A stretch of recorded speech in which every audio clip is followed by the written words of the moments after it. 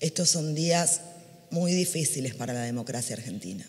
Con el intento de asesinato a Cristina se quebró por primera vez en mucho tiempo ese pacto democrático que los argentinos habíamos construido hace casi ya 40 años.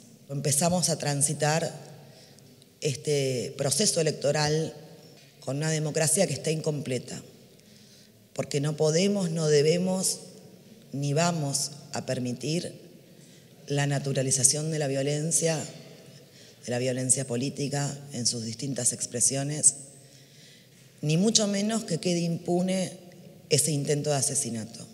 Nos vemos en la obligación todavía de cumplir con las deudas que esta democracia y los desafíos pendientes que esta democracia todavía nos dejó, ¿no? Nos deja y por las que debemos seguir luchando. El empleo de calidad, el fortalecimiento de, de, los salarios, el acceso a la salud, a la educación, una vivienda adecuada, los desafíos socioambientales.